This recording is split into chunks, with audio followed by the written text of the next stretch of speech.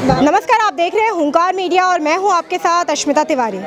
इस वक्त हम खड़े हैं गौतमपुरी इलाके में, जहाँ पर बदरपुर विधानसभा लगता है। यहाँ के निजी क्षेत्रों में क्या क्या समस्याएँ हैं, उन पर हम लोगों से चर्चाएँ करेंगे, उन पर बात विचार करेंगे और देखते हैं, क्योंकि नगर निगम चुनाव भी पास है, उनको लेके भी हम थोड़ी बात करेंगे और जानना चाहेंगे कि इस बार आखिर किसकी सरकार होने वाली है। नमस्ते, मेरा नाम शालू है। यहाँ पर जो नालियाँ बहुत गंदी रहती हैं। और यहाँ कोई साफ़ सफ़ाई नहीं होती यहाँ कोई सुविधा नहीं है किसी भी चीज़ की सुविधा नहीं है। ना बात किसी भी चीज़ की यहाँ पर सुविधा नहीं है। नाली इतनी गंदी रहती है कि पास घर में भी इतनी बदबू आती है कोई बाहर पड़ोस को बुलाने में भी शर्म आते कोई मेहमान निगम पार्षद है सरवन कुमार जी यहाँ पर हैं कभी बाई चांस आ गए तो आ गए नहीं तो नहीं आते। सड़क भी यहाँ की देखो नहीं बनी है अभी तक नहीं कभी बाई चांस आते हैं कभी जब उन्हें ज़रूरत होती है जब। आप उनके पास जाते हो कंप्लेन लेके नाली आपकी बनी है नहीं जब वो यहाँ आते हैं राउंड पे कभी आते हैं तो हम उनसे कहते हैं इस चीज़ के लिए कि यहाँ पर आपने देखो आपकी नाली कितनी गंदी है आप यहाँ सफ़ाई नहीं करवाते हो और लाइट नहीं आती है खम्भों पे। कहने के बाद वो काम कराते हैं या नहीं कराते? बोल तो देते हैं हाँ कि कराएँगे उसके बाद फिर नहीं होता है कुछ चीज़। गलियों में स्ट्रीट लाइटें लगी हुई है? हाँ ये लगी भी है वो वाली जो है वो कभी जलती है कभी नहीं जलती। आप देख सकते हो कि अभी भी वो नहीं जल रही है। तो इसके लिए कंप्लेन की आपने यहाँ के निगम पार्षद से? हाँ जो आए थे झाड़ू वाले आए थे और एक बार तरवन भैया भी आए थे तो उनसे भी हमने बोली थी इस चीज़ के लिए पर उन्होंने कुछ नहीं करा। अच्छा हम आपके क्षेत्र में देख रहे हैं कि सड़कें बनी नहीं है। कितने सालों से यहाँ सड़कें नहीं बनी मेरे को तो कम से कम बीस साल बीस साल ही हो गए। एक बारी मेरे सामने बस एक बारी गिराता ही है उसके बाद नहीं। परेशानी नहीं होती पर परेशानी होती है बच्चे खेल नहीं पाते हैं पार्कों में ताले लग जाते हैं गंदगाई में रह रहे हैं हम लोग। चलिए और लोगों से भी हम बात विचार करते हैं उनसे जानने की कोशिश करते हैं कि आखिर और क्या क्या समस्या है और कौन कौन सी समस्याओं से उन्हें जूझना पड़ रहा है। क्या नाम है आपका? साकिब। साकिब आप इस रोड की हालत देख रहे हैं ठीक है? यहाँ के निगम पार्षद कौन है? सबसे पहले तो ये बताइए। तरवन कुमार। उन्होंने कितना काम करवाया है? उन्होंने बोलता चार दिन में पार्क में जो टावर खड़ा हुआ है वो हट जाएगा पर अभी तक हटा नहीं है। ऐसी की ऐसी हम खेल भी नहीं पाते पार्क में। तो इसकी वजह से हमें वो टावर हटवाना है पर वो कोई हटवा नहीं रहा। और क्या क्या समस्याएँ हो रही हैं? और सड़कें बिल्कुल ख़राब हो रखी है कूड़ा इधर उधर कोई भी पार्क में फेंक के चले जाते हैं। सड़कों के अलावा नाले वगैरह की क्या नाले बारिश में नालियाँ गलियों में बहती है। है? उससे आपको दिक्कत होती है? दिक्कत है बहुत दिक्कत बच्चे वगैरह भी गिरते होंगे? हाँ बच्चे घरों में पानी घुस जाता है। यही क्या नाम है मैम आपका? मेरा नाम राजवती है। मैम आपको क्या समस्या है? हमको ये है देखो नाले कितने गंदे हो रहे हैं लेटरिंग वेटरिंग सारी गंदगी भरी रहती है और बहुत ज़्यादा कीटाणु भरे रहते हैं और ये रोड वोड का कुछ भी काम नहीं हो रहा गौतमपुरी के अंदर। आपने क्या कभी कोई लिखित आवेदन देने की कोशिश की? नहीं अभी तो कुछ नहीं दी। लिखित आवेदन नहीं दी? नहीं। तो इस बार नगर निगम के चुनाव नज़दीक आ चुके हैं तो क्या लगता है आपको कि इस बार जिसकी सरकार है क्या वो सरकार वापस आने वाली है? ये तो आई आएगी जब होएगा काम तो। जब आप कह रही हैं कि काम ही नहीं हुआ तो आपको लगता है कि वो सरकार आनी चाहिए? क्योंकि आप ही आप भी एक नागरिक है। हाँ वो नहीं आनी चाहिए जो नहीं आनी चाहिए। हाँ जी। चलिए कुछ यहाँ पे बुज़ुर्ग भी हैं उनसे जानने की अ, मतलब जानने की कोशिश करते हैं कि आखिर उनका इस पर क्या विचार है और आखिर वो इसके बारे में क्या कहना चाहते हैं। मैम क्या नाम है आपका? कुसुम। कुसुम जी इस रोड की समस्या और नगर निगम के चुनाव जिस तरीके से आ रहे हैं तो आपको दिख रहा है कि हाँ रोड की समस्या जो है अभी तक हल नहीं हुई है। तो क्या लगता है आपको किसकी पार्टी आनी चाहिए और कितना कार्य हुआ है? जो पार्टी जिसकी आएगी वो करवाएगा यहाँ।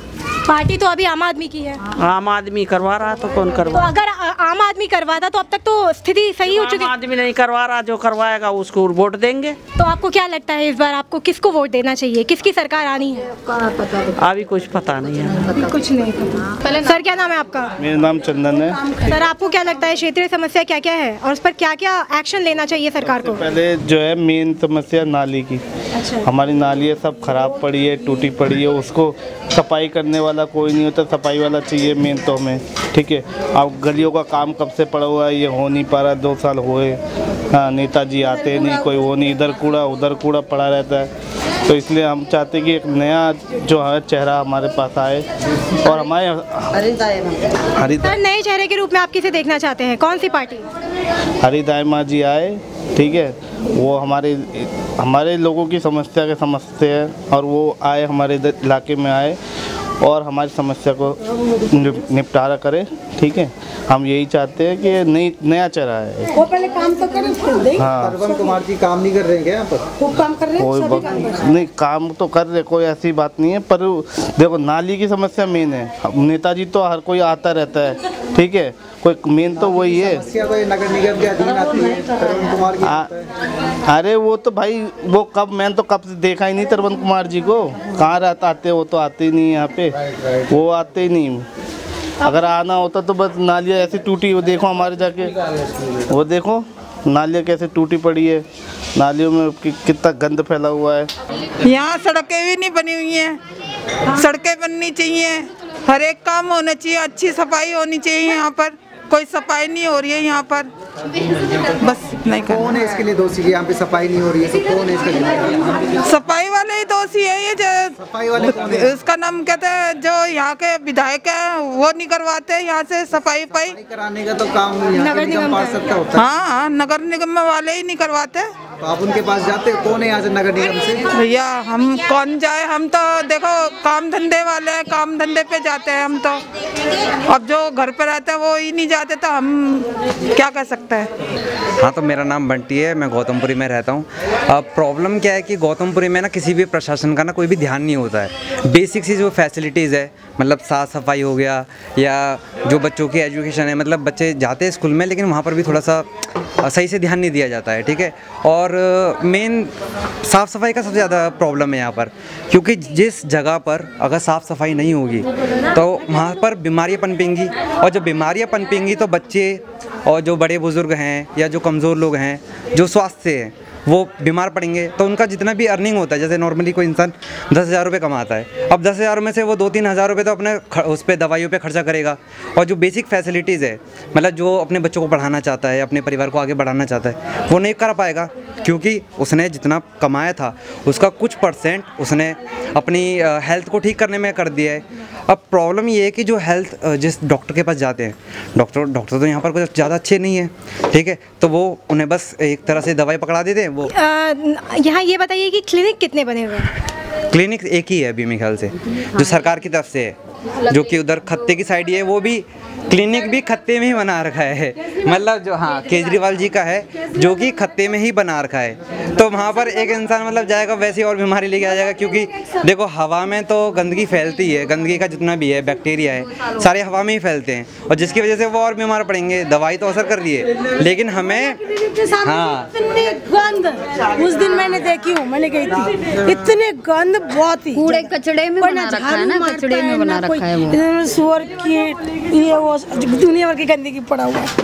मतलब दोनों सरकार का भी बहुत बड़ा रोल है लेकिन साथ में साथ मैं ये भी कहना चाहूँगा कि लोगों को भी थोड़ा समझदार होना चाहिए। मतलब उन्हें जो कूड़ा है सही जगह पे डालना चाहिए। मतलब यहाँ डस्टबिन बना रखे ऐसा नहीं कि सरकार बिल्कुल काम नहीं कर रही। सरकार काम करती है डस्टबिन बना रखे हैं गाड़ी आती है सुबह सुबह तो वो कूड़ा है सही जगह पे डाला जाए। जैसे वहाँ पर खत्ता है तो वहाँ पर बॉक्सेस रखे हुए हैं। तो सबको उस बॉक्स में डालना चाहिए। लेकिन वो ऐसे बनाते हैं। मतलब यानी नागरिक भी जिम्मेदार नहीं हाँ। दोनों का है। ये मैं कहा कहना चाहूँगा कि सिक्सटी परसेंट सरकार का है जो अपना फैसिलिटीज़ प्रोवाइड करना चाहिए। फोर्टी परसेंट तो नागरिक ही है क्योंकि कोई भी देश कोई भी देश या समाज या कोई भी जगह है वो नागरिकों से बनती है। सरकार तो दूसरी चीज़ है ना। ये तो इसी तरीके से है कि माता पिता का फ़र्ज़ है कि बच्चों को पढ़ाई के लिए पैसे देना ट्यूशन लगवाना। लेकिन पढ़ना ना पढ़ना वो तो बच्चे पे डिपेंड करता है ना। उसकी मेहनत पे डिपेंड करता है। तो नागरिकों आप देखोगे यहाँ के नेताओं की ज़िम्मेदारी नहीं बनती है यहाँ पर। हाँ, नेताओं की- जोड़ी है पार्षद निगम पार्षद तरवन कुमार है। हाँ। हमारे यहाँ के बीजेपी से हाँ। कुमार आम आदमी पार्टी से। आज तक हाँ, में? उनके साथ यही दिक्कत है कि देखो अब देखो हम ज़्यादा से ज़्यादा उनसे बोल सकते हैं रिक्वेस्ट कर सकते हैं। निवेदन कर सकते हैं कि भाई हमारी फैसिलिटीज़ या जो भी है काम किया जाए। लेकिन अब उनकी अपना निजी हो सकता है कि भाई वो सरकार में किस लिए आए हैं? या तो अपनी जेब भरे या तो सरकार मतलब जनता के लिए काम करे। वो तो उनका पर्पस हो सकता है उनकी लाइफ के बोल सकते हैं? कुमार काम करा रहे हैं यहाँ पर। नहीं थोड़ा देखो काम होता फिर पूरी तरीके से तो नहीं कह सकते लेकिन जिस हद तक उन्हें अपना पोटेंशियल देना चाहिए करना चाहिए उस लेवल पे तो मेरे ख्याल से थोड़ा सा पीछे हैं वो। नहीं कर रहे हैं। हाँ पीछे हैं। थोड़ा सा है हाँ बस ये थोड़ा बहुत काम अच्छा कर दिया तो ये तो भाई है ही चीज़ें। अच्छा यहाँ पे शौचालय की क्या हालत है? शौचालयों की बहुत बुरी हालत है बेसिक फैसिलिटीज़ नहीं साफ़ सफ़ाई भी नहीं है। पार्षद के पास नहीं जाते कि हमारे यहाँ शौचालय गंदा पड़ा रहता है उसको साफ़ देखो कितने भी निवेदन डाल दे कितने भी पत्र डाल दे कितने भी कुछ भी कर ले जिस जिस लेवल पे काम होना चाहिए ना उस लेवल पे तो काम हो नहीं पाता है। तो हाँ फिर जनता तो परेशान है फिर तो वो जनता कहती है कि भैया या तो अपना इसी में गुजारा करो क्योंकि जो चीज़ जिनके लिए जिन कामों के लिए जिस इंसान को बिठाया है अब वो सुन ही नहीं रहा कान बंद करके बैठा पड़ा है तो उसका तो कोई मतलब नहीं है ना उसके पास जाओ अपना गला टाइम बर्बाद। देखो हर कोई काम धंधे वाला है तो चुनाव चुनाव नज़दीक है नगर हाँ। के तो कौन सी पार्टी को ऑफ़िस पर लाना चाहोगे? आम आदमी पार्टी है पंद्रह साल से बीजेपी शासित है द्वारा एमसीडी में उसको लाना चाहोगे? देखो मेरी तरफ़ से तो पार्टी बदलनी चाहिए अभी शुरुआत में क्योंकि बीजेपी अगर पंद्रह साल से अगर ये काम नहीं कर पा रही है ठीक है? पंद्रह साल से हमारे आकर निगम पार्षद तो आम आदमी पार्टी से हैं। निगम प्रसाद आम आदमी पार्टी से है ना? हाँ, हाँ। आपकी बात कर- हाँ। तो जो हम देखो सबका अपना ना अपना अपना ओपिनियन हो सकता है। मेरे को तो अपना जो है वो लगता है ठीक है? तो वो है। अब क्या लगता है आपको इस बार किसकी सरकार आनी चाहिए? वो तो देखो बीजेपी लगती है थोड़ी बहुत सही। बीजेपी पंद्रह सालों से। लेकिन अभी उसमें कुछ चेंजेस करने की ज़रूरत है। बाकी देखो सबका अपना ओपिनियन हो सकता है। मैं ये इस तरीके से नहीं कह सकता। सबका अपना अपना ओपिनियन है। वो तो फिर वही इन्फ्लुएंस करने वाली बात ही हो जाएगी। हाँ फिर बोलेंगे कि भाई ये है तो वो है। तो सबका अपना अपना ओपिनियन है। मेरा अपना ओपिनियन है ठीक है? ये तो इन्फ्लुएंस करने वाली बात हो जाएगी कि भाई ठीक है? वो है। अपने शहर की लेटेस्ट खबरों के लिए चैनल को सब्सक्राइब करें और बेल आइकन को दबाएँ।